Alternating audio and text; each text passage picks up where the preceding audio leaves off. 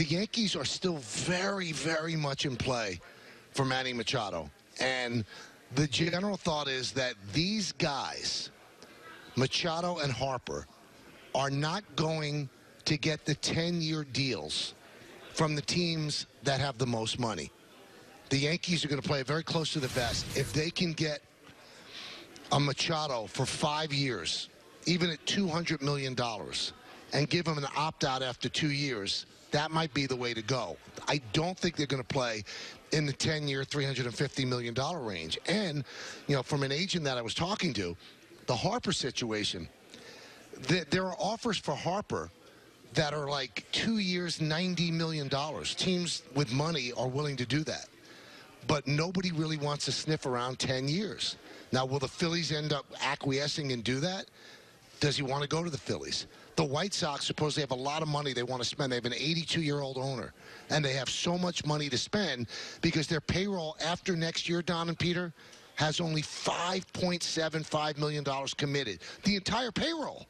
So they've got the money to spend, but if you're Harper, do you want to go to a team that's not going to win in 2019? Do you want to go to the south side of Chicago? It seems like the, the fun place is the north side of Chicago. And, and, and finally, I've seen a lot of this on Twitter with the rumors about you know, the, the three-way deal with the Yankees, uh, the Mets, and the, and the Marlins, that Andujar would be a part of it, and people are shocked.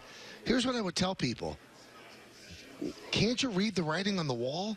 He didn't start the game that could have continued the Yankee season. Doesn't that give you a window into what they think he's going to be in 2019? Now, you can't say he's not going to improve. He's a young, athletic star, a star hitter. And But they're looking to win in 2019.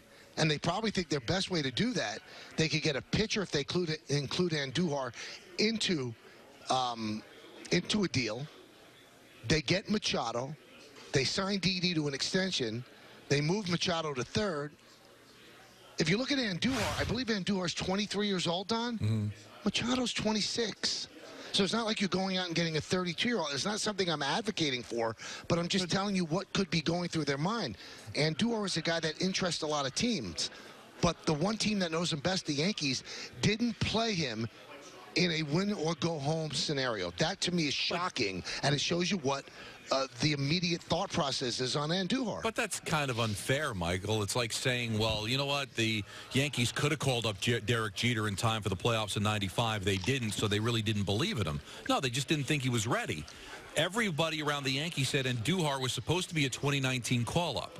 But because of injury, they forced him a year early. And he made yeah, a share of mistakes, but he also raked. I know, but see, I, I can't buy that that parallel.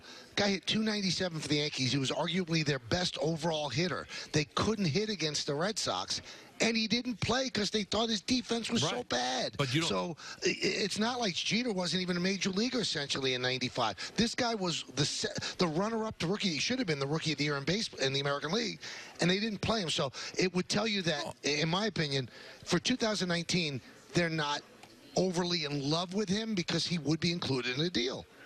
No, he just would be. Then you would have to get Machado then. If you don't you, get Machado yeah, you, and you it, trade Andujar away, then it's a major problem. Right. But uh, I listen. I think they'd be better off with Machado because I think Machado, at this particular stage of his career, is better than Andujar.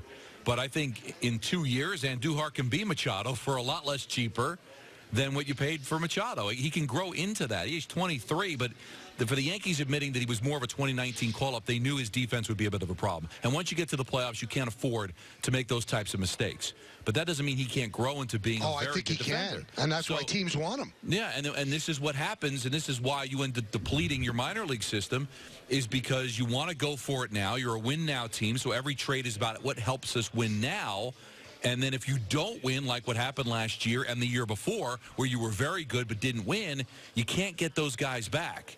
If Machado, for some reason, doesn't work out or they don't win, whoever gets Andujar is going to be in a better place because he's three years younger and a heck of a lot cheaper than what the Yankees or whoever is eventually going to have to pay for Machado. So the Yankees are going to have to win now, but you do sacrifice a lot of the future.